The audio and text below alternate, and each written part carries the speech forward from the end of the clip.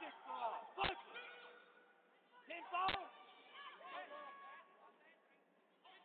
Up. Up. Be patient.